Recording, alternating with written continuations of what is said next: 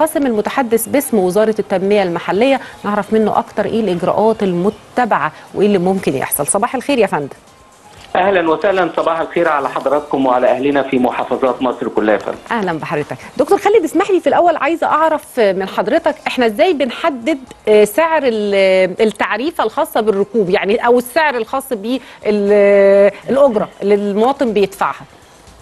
شوفي حضرتك هو اللي بيحصل آه الآتي. طبعا السادة المحافظين مع آه السادة مدراء آه المواقف اللي موجودين في كل المحافظات المصرية. تم الجلوس صباح يعني منذ فجر أمس وعقد الاجتماعات اللي بيها تم تحديد التسعيرة وفقا ل طول خطوط السير سواء كانت خطوط سير داخلية داخل المحافظات على مستوى المراكز والمدن والأحياء أو ما بين المحافظات وبعضها البعض حصل تنسيقات وخاصة فيما يتعلق بالخطوط الخارجية الرابطة ما بين المحافظات. تم إقرار هذا الأمر ثم بعد ذلك تم طباعة هذه التعريفات وتم وضعها في المواقف اللي موجودة في كل المحافظات المصرية من جانب وتم الإعلان عنها ثم تم الإعلان عن خطوط ساخنة في المواقف بحيث يتم الرجوع إليها في حالة مخالفة أي من السائقين.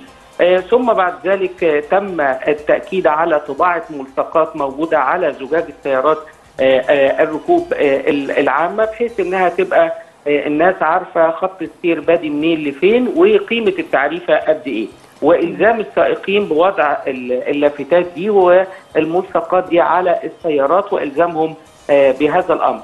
طبعا بعد كده في متابعة حصلت من خلال معالي الوزير مع السادة المحافظين ثم متابعة السادة المحافظين منذ صباح أمس ميدانيا بحيث إن هم شافوا على الأرض آلية تطبيق هذا الأمر ومتابعته. إلزام معالي وزير السادة الزملاء رؤساء المراكز والمدن والأحياء على مستوى الجمهورية إن هم ينزلوا ولا زالوا. طبعا هنتابع النهارده وبكرة. وفي ربط ما بين غرفة عمليات وزارة التنمية المحلية مع غرف العمليات على مستوى المحافظات دكتور خالد اسمح لي إحنا يعني الإجراءات دي ممكن أو الملصقات دي ممكن تبقى موجودة في المواقف اللي هي ما بين المحافظات. يعني لو موقف مركزي مثلا موقف مثلا في القاهرة للمحافظات منصورة طنطا ممكن تبقى التعريفة دي واضحة وصريحة وملصق موجود. لكن بالنسبة بقى للمواصلات الداخلية اللي ممكن حد بيركب مثلا الميكروباص مش من الموقف. بيركبه مثلا من الشارع من قدام بيته أو من فده ممكن يبقى فيها شوية مش عارف الأجرة بتاعه الركوب. المتابعة هتتم إزاي في الحتة دي؟ اللي هي المواقف الداخلية والمواصلات الداخلية. المواقف الداخلية والمواصلات الداخلية ملزمة بهذه الملصقات بالفعل. زي ما قلت لحضرتك السادة رؤساء المراكز والمدن والأحياء بيفوتوا مم. وبيمروا وبيوقفوا العربيات ويتأكدوا منها. كذلك الأمر إتاحة ده على البوابات الإلكترونية اللي موجودة داخل كل المحافظات.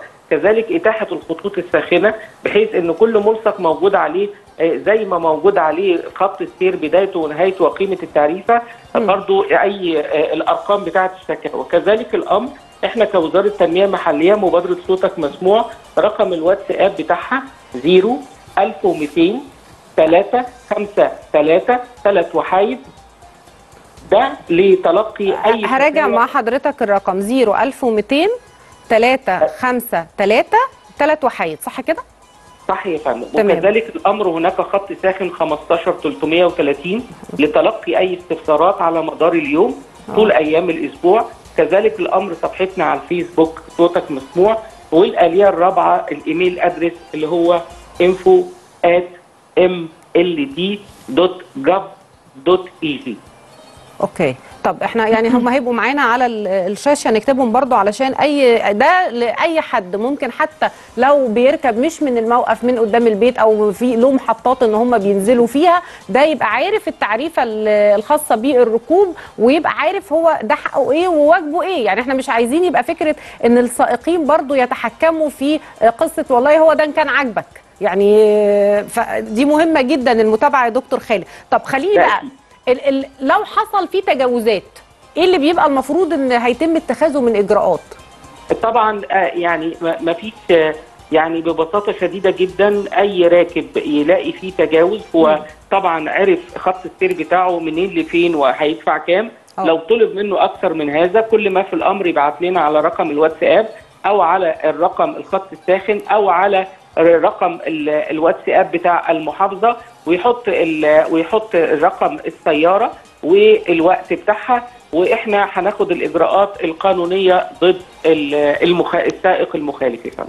تمام طيب أنا يعني في النهاية حضرتك حابب إن إحنا ن- توجه يعني كلمة سواء للمواطنين العاديين أو للسائقين أو المسؤولين عن آه، ال- المواقف سواء داخل الداخلية أو الخارجية طبعا يا فندم يعني ح... يعني هعيد تاني وأكد على ما آه، آه، أكد عليه مع الوزير اللي هو هشام أمنة وزير التنمية المحلية بإن إحنا كلنا آه، مع بعض المفروض إن إحنا نتشارك في إدارة الأمر خاصة إن معدلات الزيادة اللي حصلت نتيجة لل- للتسعير ال- التلقائي طبعا ترتب عليها زيادة في التعريفة طبعا الزيادة دي كانت بتتراوح من 8 ل 15% على مستوى كل المحافظات وحسب خطوط السير وبالتالي تم إعلان قوائم آه، ال- التعريفة آه، مربوطة بخطوط السير وبالتالي الجميع عليه الالتزام آه، من السادة السائقين بوضع الملصقات من ناحية وتلقي الأجرة الجديدة المقررة آه، من ناحية ثانية وخاصة إنه يعني إحنا إحنا اللي إحنا بننقلهم دول دول أهلنا. صحيح. وبالتالي من الطبيعي إن إحنا كلنا مع بعض آه، آه، وخاصة إن مش دي أول مره معلش يا دكتور خالد أنا عايزة أسأل حضرتك على سؤال. هو إحنا يعني إحنا مثلا أسعار ال- البنزين مثلا زادت جنيه عن السعر القديم. إنتوا بتحسبوا إزاي الزيادة؟ يعني ال- السعر الجديد بيتحسب إزاي على الزيادة اللي حصلت في البنزين؟ ده بيتحسب على أساس خطوط السير. الساده الزملاء المديري المواقف آه، اللي موجودة في كل المحافظات بيعرضوا آه، ده على السادة المحافظين مع الجهات المعنية بتتم المراجعات بما يتناسب مع طول خطوط السير. وخاصة مش دي أول مرة تحصل آه طبعا. آه، إن يتم فيها تعديل الخط ال- ال- التعديل القيمة أنا سمعت إن التعريف. إن التعريفة زادت بنسبة 15% الخبر ده صحيح ولا مش م... ولا فندم. ما فيش نسبة ثابتة؟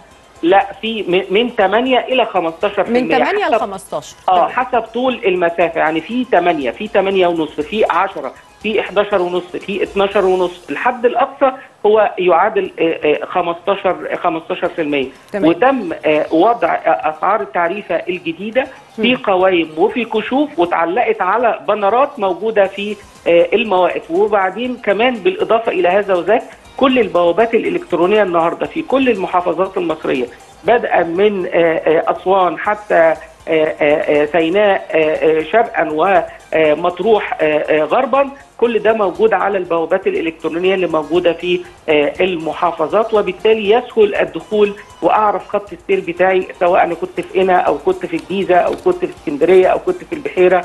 أو آه، في غيرها من المحافظات المصرية كل ده آه، معلن عنه بمنتهى ال- الشفافية وبالتالي معلوم للمستخدم ومعلوم بالنسبة تمام. للسائق تمام كذلك الأمر أهمية المتابعة من والرقابة من جانب آه، زملائنا وده ما تم ده اهم حاجة عليه. آه والنبي يا دكتور خالد ده. أهم حاجة لأن الناس يعني زي ما حضرتك عارف بتبقى يعني محتاجة إن هي تبقى في فعلا رقابة حقيقية على فكرة المواصلات بعد دي شوية بينسوا آه طبعا أنا بش... عشان كده إحنا كلنا رابطين مع بعض يا فندم منذ فجر أمس آه، آه، على مدار آه، الساعة وبالتالي غرفة العمليات وإدارة الأزمات في وزارة التنمية المحلية مع مركز السيطرة رابط مع غرف العمليات والأزمات على مستوى ال 27 محافظة مصرية خدمة لأهلنا في كل المحافظات المصرية. بالتوفيق دكتور خالد قاسم المتحدث باسم وزارة التنمية المحلية شكرا جزيلا على وجود حضرتك معنا